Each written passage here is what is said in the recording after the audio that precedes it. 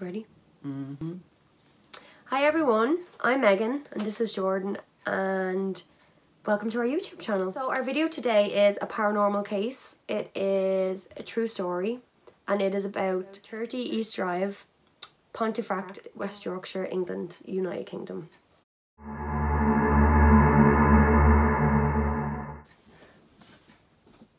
So the events that took place here at 30 East Drive, Pontefract are what has caused it to be given the title of the most violent poltergeist in all of the United Kingdom and Europe.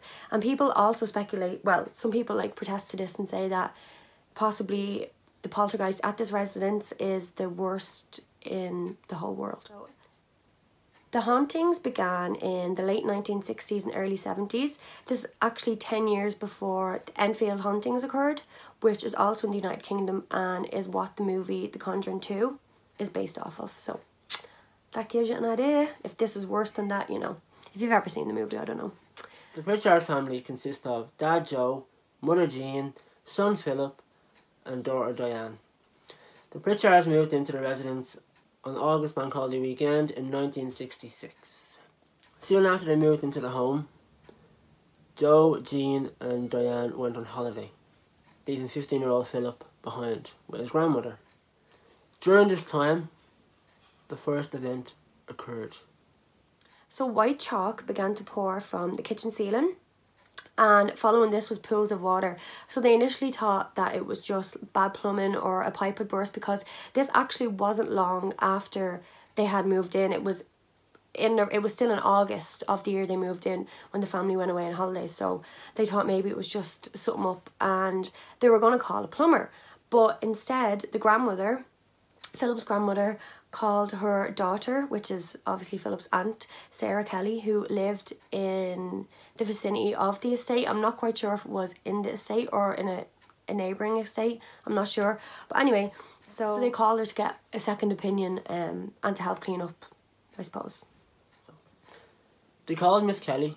When she went into the kitchen to observe, she noticed that there was sugar and tea leaves all over the floor. As soon as she noticed this, the tea dispenser also began pouring tea all over the countertops by an unknown entity.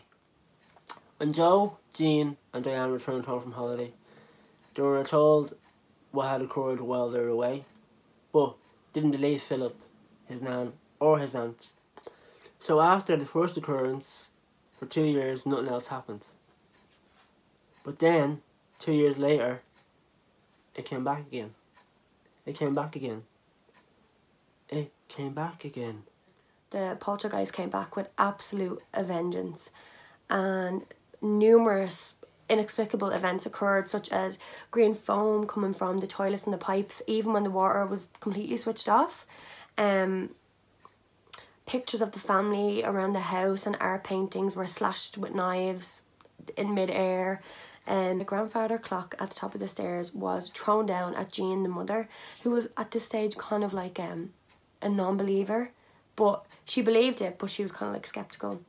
And but she was in the house at the time and they were having like coffee and they heard noise walked out to the bottom of the stairs and the grandfather clock just got flung at her at such a high speed like and it didn't hit her because she moved out of the way but you know. After all these events Jean decided that she was going to get one of the local priests to come in and perform an exorcism on the house because she was adamant. She was like I'm not letting this entity kick us out of our house because they always wanted this house like it was their family home. Initially when the houses were being built and they were being given to people and another woman actually took up residency in this house first.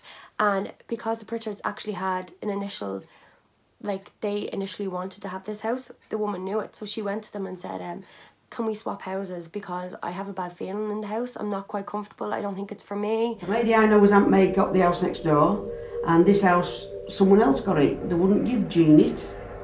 And 18 months later, she saw the lady of the house and said she liked this house, and the lady says, I'll swap you, I don't like the house. I feel as if I'm being watched, but nothing else had ever happened. So the Pritchards jumped at the chance and were like, yeah, absolutely, it's bigger, we'll, it's in a better location, it's whatever, in the estate. So they were like, yeah, we'll swap with you. Mm, bet they regretted it now. That's my stomach rumbling. I am, that's my stomach rumbling, okay? Right. When they got the priest to do the exorcism, when he was actually in the house performing the exorcism, it made everything a million times worse. Like, wow. So while the priest was actually performing the exorcism on the house, blessing it with sage and holy water and whatever else Latin verses they do, the polter all the crosses in the house start turning upside down. Mm. And people start levitating like so during the exorcism when the crosses start turning upside down, members of the Pritchard family start levitating, um the entity manifested itself into like a black kind of cloak. Um, the Pritchard family said it almost looked like um, the Grim Reaper, kind of like. Uh, after that happened, Diane, which was the Pritchard's daughter, who was 14 at the time, got violently flung across the room, dragged up the stairs by the throat.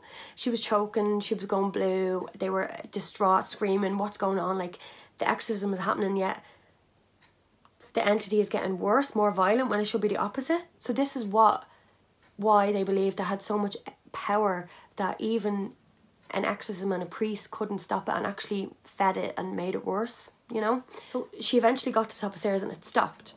And there was all lesions on her neck and hand marks and they were like, oh shit got real.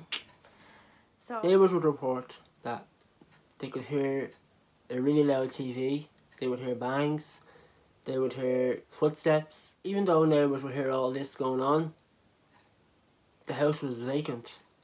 No one was living there, so. His nephews are deaf, so when they did stop, television were very loud.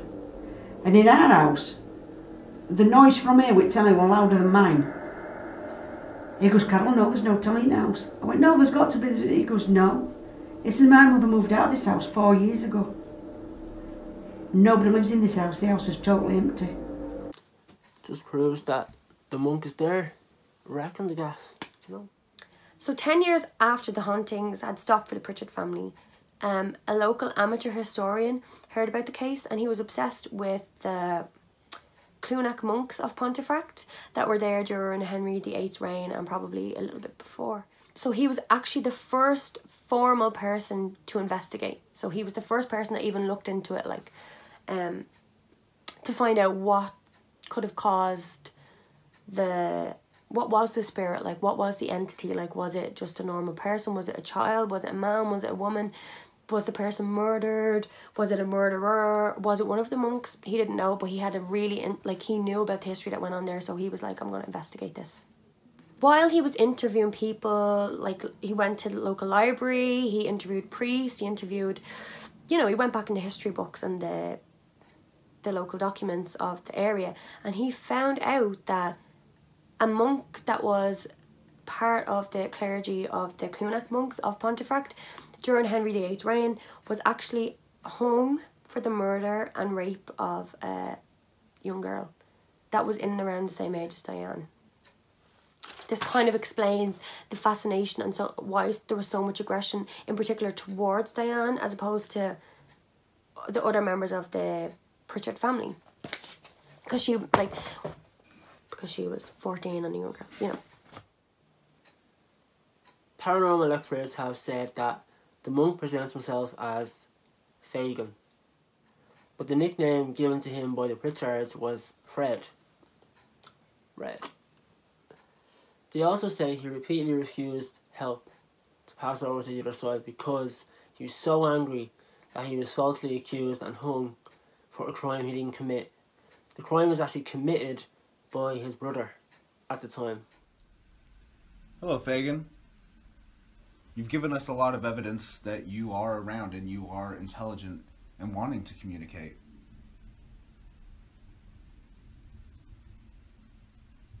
Do you want any of us to get out of the house, though?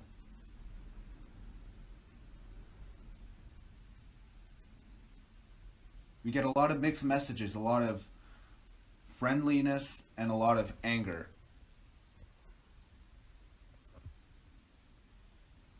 Are you angry or are you happy?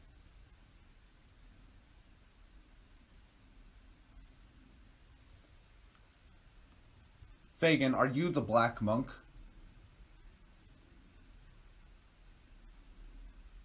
My friend, could you be completely honest and tell me, are you the black monk?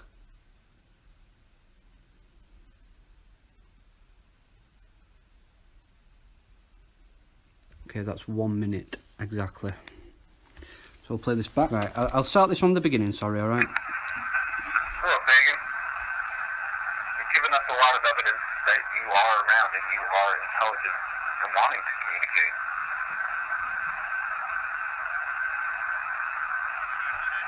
Do you want any of us to get out of the house, though?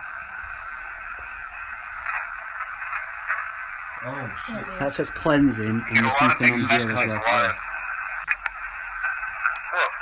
Hello. Yeah, there's some, it's about 20 seconds or something, I think. Do you want any of us to get out of the house, though?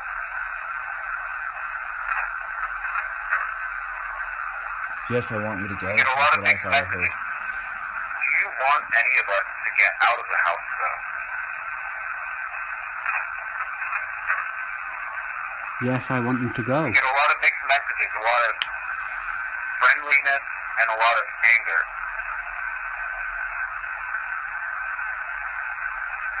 Are you angry or are you happy? Oh! Play that again. Right, listen to this, you guys. the black monk? Good. You said it, Ben? You get a lot of mixed messages, a lot of friendliness and a lot of anger.